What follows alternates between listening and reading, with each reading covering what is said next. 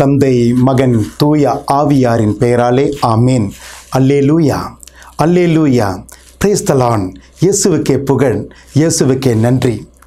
இறையேசுவில் பிரியமானவர்களே தூய ஆவியினுடைய அருள் கொண்டு நாம் இந்த இறை வார்த்தைகளை அவர் நமக்காக தருகின்ற அந்த இறைவனுடைய வழிகாட்டுகளை நாம் தேடிக்கொள்வோம். இறை வார்த்தைகளை புரிந்து கொள்ளும் அளவிற்கு நம் மனதை ஆண்டவர் வந்து உயர்த்த வேண்டும் இறைவனிடம் உயர்த்த வேண்டும் திறக்க வேண்டும் என்பதற்காக நாம் ஜெபிப்போம். இறைவன் நம்மையும் நம் குடும்பத்தையும் ஆசிர்வதிப்பாராக. இப்பொழுது இந்த இறை வார்த்தையின் விளக்கத்தோடு இணைந்திருக்கின்ற அனைவருக்கும் இறைவனுடைய ஆசீர்வாதம் சிறப்பாக இன்றைய நாள் கொடுக்கப்படுகின்ற அந்த இறை வார்த்தை விளக்கங்களை இறைவன் உங்கள் குடும்பத்தில் விளக்காக வெளிச்சமாக வழிகாட்டுவதாக. அமேன் இறையசுவில் பிரியமானவர்களே இன்று நான் நாம் சிந்தனைக்கு எடுப்பது யோபின் வாழ்க்கையை தான் யோபினுடைய வாழ்க்கையை பாருங்கள் நீங்கள் யோபனுடைய நூலை படித்து படித்திருந்தால் உங்களுக்கு இப்படியும் ஒரு மனுஷனா?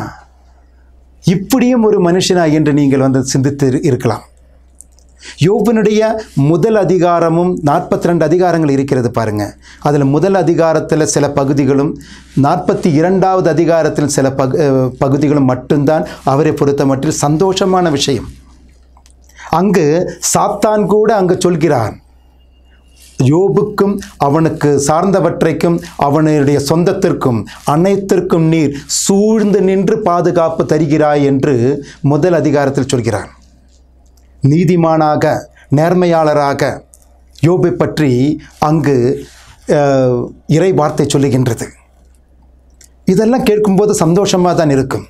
ஆனால் போக போக பாருங்கள் எவ்வளவு சொத்து எவ்வளவு சந்தோஷம் எவ்வளவு இழப்புக்கள் அத்தனையும் வந்து இழந்து விட்டான். தன் சொந்த பிள்ளைகளை இழந்து விட்டான். ஆரோக்கியத்தை இழந்து விட்டான். உடலுடைய அந்த அழகான அந்த உடலை இழந்து விட்டான். ஆனால் இவன் ஏதாவது தப்பு செஞ்சாரா? இவர் எதுவுமே எந்த ஒரு தப்பும் செய்யல.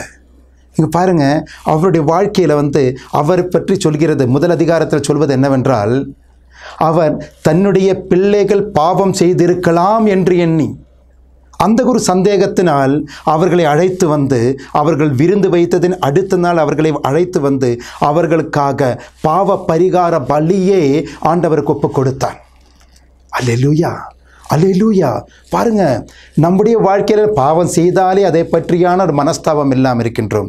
வேறு பிள்ளைகள் பாவம் செய்கிறார்களா பிறர் பாவம் செய்கிறார்களா அதை பற்றியெல்லாம் கவலையே படுவதில்லை.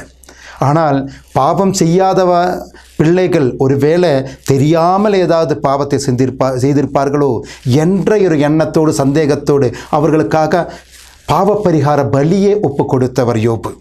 அப்படிப்பட்ட இவருக்கே எவ்வளவு துயரங்கள் துன்பங்கள் வேதனைகள் சோதனைகள் அவர் வாழ்க்கையில் கடந்து வருகிறது பாருங்க. அதில் அந்த அதாவது விளக்கவே முடியாது. தன்னுடைய மனைவியும் சிநேகிதர்களும் அத்தனை பேரும் நண்பர்கள் அத்தனை பேருமே வந்து நீ பேசாம கடவுளை குறை சொல்லி நீ போய் தற்கொலை செய்துவிடு என்று சொல்கிறார். அரிப்பு தாங்க முடியாம ஓட்டு கல்லை எடுத்து வந்து தேய்க்கிறான்.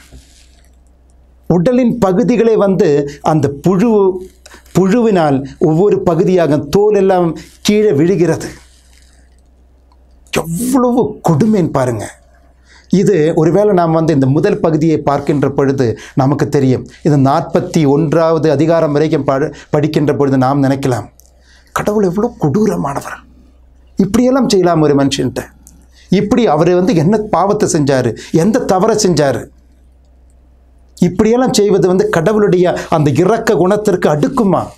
கேட்கலாம் நாம. ஆனால் நாற்பத்தி இரண்டாவது அதிகாரத்தில் அதற்கான விடைகள் இருக்குது பாருங்கள் அங்கே வந்து சொல்கிறார் ஐந்தாவது நாற்பத்தி இரண்டாவது அதிகாரம் ஐந்தாவது வசனத்தை கொஞ்சம் பாருங்க. உம்மை பற்றி காதால் மட்டுமே கேள்விப்பட்டேன் ஆனால் இப்போது என் கண்களை உம்மை காண்கின்றேன். உம்மை பற்றி என் காதால் மட்டுமே நான் கண்டு கொண்டேன் ஆனால் க கேட்டேன். ப- காதால் மட்டுமே நான் கே கேட்டிருந்தேன். ஆனால் இப்போது என் கண்களினால் என் சொந்த கண்களினால் நான் உன்னை காண்கின்றேன்.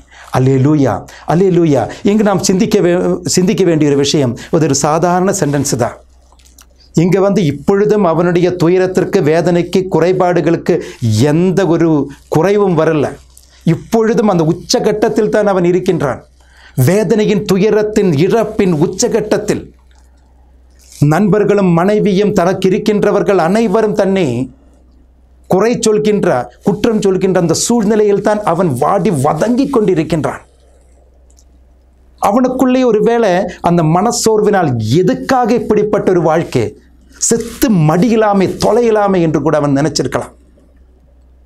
ஆனால் அந்த ஒரு வேளையில் அவன் சொல்கிறான் பாருங்க இதுவரையிலும் நான் உன்னை பற்றி கேள்விப்பட்டிருக்கின்றேன் என் காதால் கேள்விப்பட்டிருக்கின்றேன். ஆனால் இப்பொழுது கடவுளே உன்னை நான் காண்கின்றேன். எப்போது?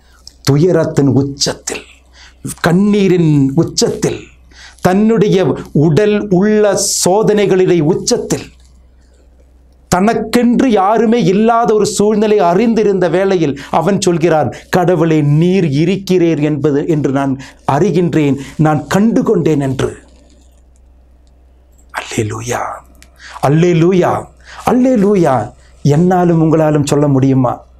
ஒரு சின்ன துயரம் வருகின்ற பொழுது வேதனை வருகின்ற பொழுது துக்கம் வருகின்ற பொழுது நாம் என்ன சொல்கின்றோம்? கடவுளுக்கு கண் இல்லையா காது இல்லையா? ஏன் எனக்கு மட்டும் இப்படி வருது? அவங்களெல்லாம் பாருங்கள் அவளெல்லாம் அவங்களெல்லாம் என்ன நன்மையை செய்தாங்க?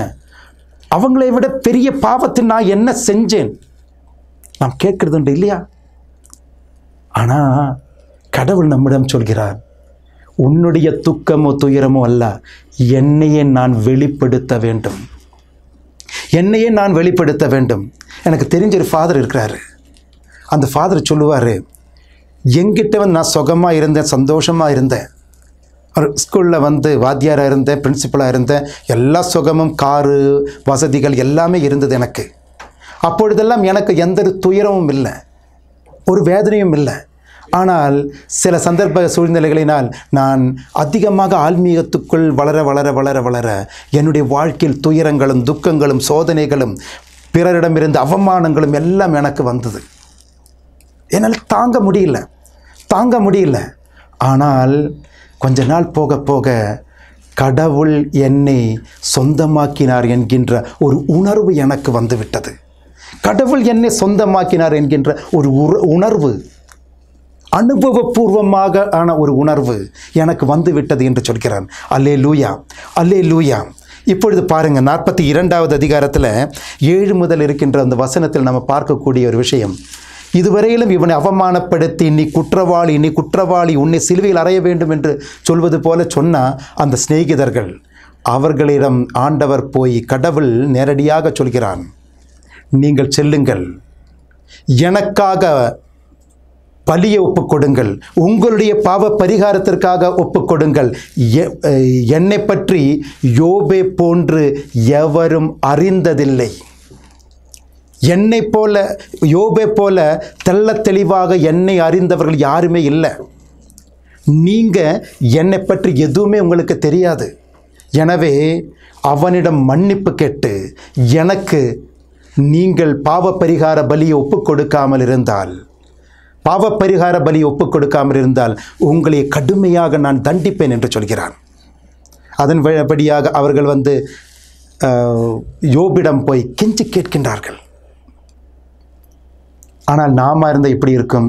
இதுவரையில் நீங்கள் என்னையெல்லாம் கேலி பண்ணீங்கல்ல? அவமானப்படுத்தினீங்கல்ல? என்னை எல்லாம் வந்து தூசியாக நினைத்தீங்கல்ல? நான் குற்றவாளி குற்றவாளி என்று சொன்னீங்கல்ல? நீங்கள் நீங்களும் அனுபவிங்க.